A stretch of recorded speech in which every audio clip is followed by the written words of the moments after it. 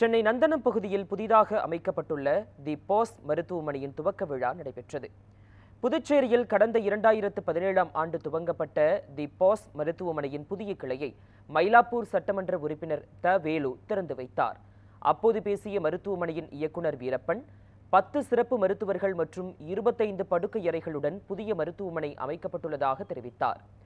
மேலும் எலும்பு சம்பந்தப்பட்ட பிரச்சனைகள் மூட்டு மற்றும் இடுப்பு மாற்று அறுவை சிகிச்சை உள்ளிட்ட அனைத்து வகையிலான அறுவை சிகிச்சைகளும் மேற்கொள்ளப்படும் என்றும் அவர் தெரிவித்தார். இந்த நிகழ்ச்சியில் நிர்வாக இயக்குனர் சுபத்ரா வீரப்பன் மற்றும் பல்வேறு மருத்துவர்கள் பங்கேற்றனர். Pondy ortho speciality hospital private limited இதில் ஆக்சுவலாக பாண்டி ஆர்த்தோ ஸ்பெஷாலிட்டி ஹாஸ்பிட்டல் அப்படின்றது வந்து ரெண்டாயிரத்தி பதினேழில் வந்து பாண்டிச்சேரியில் ஸ்டார்ட் பண்ணோம்.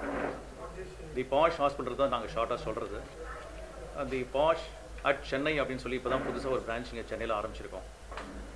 அண்ட் பாண்டிச்சேரியில் uh, வந்து ஃபுல் ஃப்ளெஜ்டாக ஸ்கேன் சென்டர் முதல் கொண்டு சிடி ஸ்கேன் எம்ஆர்ஐ ஸ்கேன் எல்லாம் all the facilities we have but சென்னையில் வந்து since we have other centers பக்கத்தில் இருக்கிறனால அண்ட் ஆர்த்தோ சம்மந்தப்பட்ட எல்லா சர்ஜரிஸுமே இந்த ஹாஸ்பிட்டல் நடக்கும்.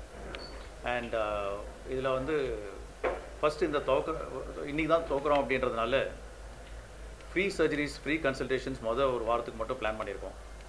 ஸோ இதில் வந்து கண்டிப்பாக எல்லாரும் அறுபது வயசுக்கு மேலே இருக்கிறவங்களுக்கு கண்டிப்பாக தெரியும் மூட்டு வலி அதெல்லாம் நிறையா இருக்கும்ன்றது.